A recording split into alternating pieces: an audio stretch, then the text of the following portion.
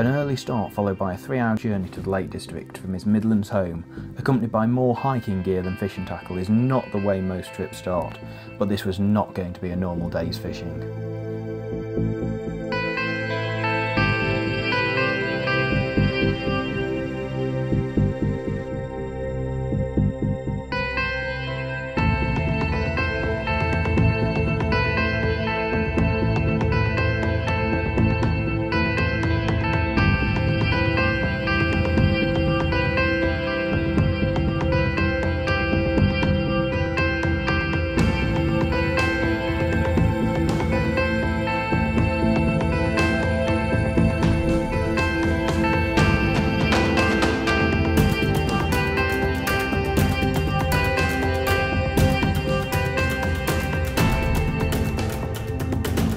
Hello there and welcome to the beautiful Lake District in the north of England.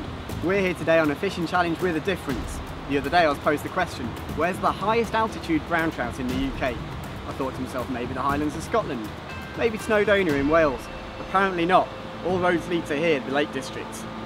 Behind the hills here, there's a lake called Red Tarn that sits at over 2,000 feet above sea level that we think has the highest altitude brown trout anywhere in Great Britain. Let's go and have a look.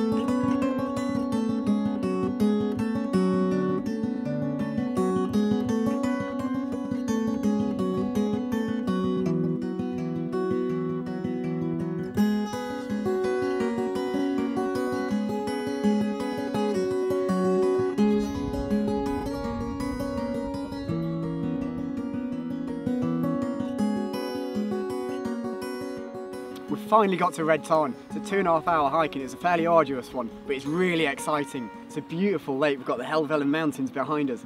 Even better, we're seeing trout rising. I'm really excited about this. Let's see if we can catch some of these.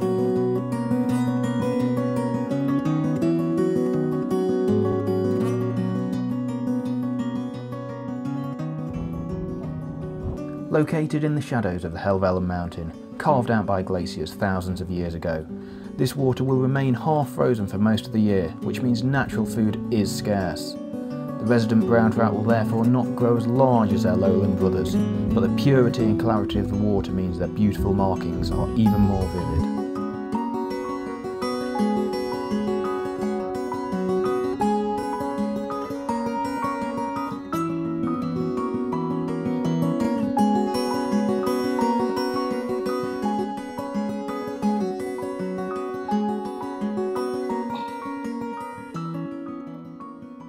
Although trout were rising periodically, the fishing proved tough.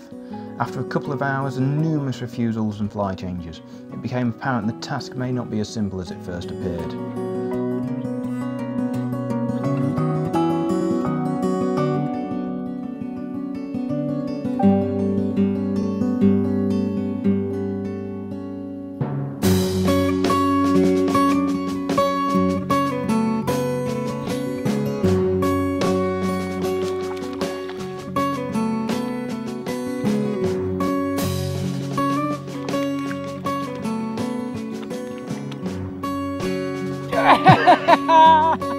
yes!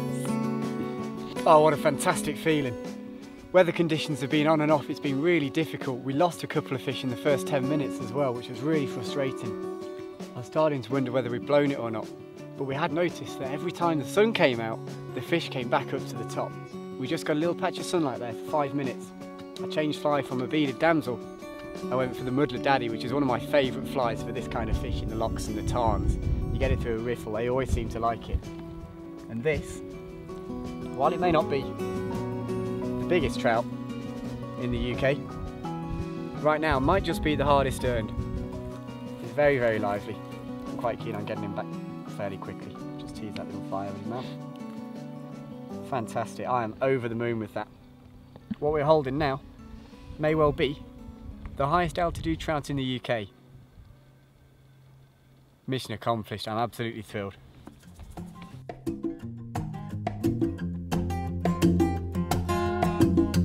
Yeah, come on!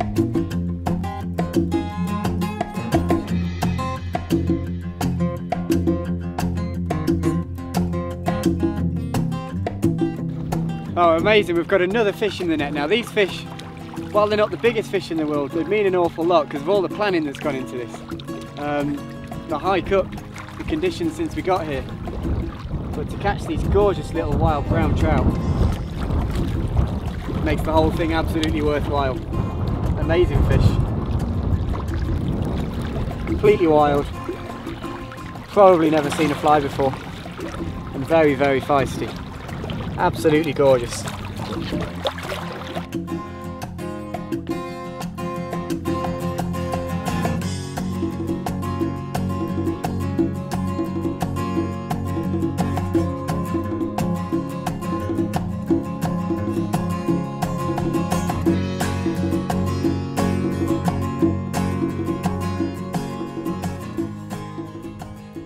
As well as a stock of wild brown trout, Red Tarn is also home to one of the few populations of the mysterious and endangered skelly in the UK. Although it is a complete mystery how they got here in the first place, it is in fact illegal to target them, although there have been occasional captures reported.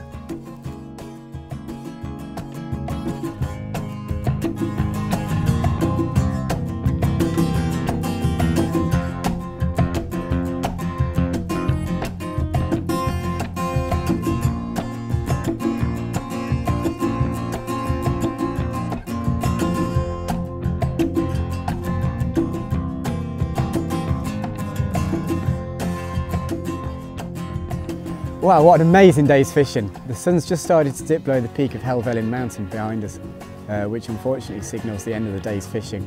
We've got a very long hike back out, so we need to leave plenty of time.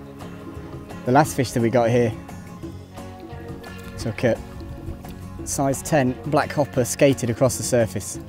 It's still very, very lively.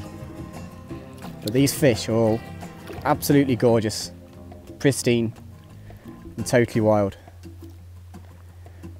Very long, very lean, but what an amazing, beautiful fish. Hopefully I'll come back to Red Tarn soon. Fantastic.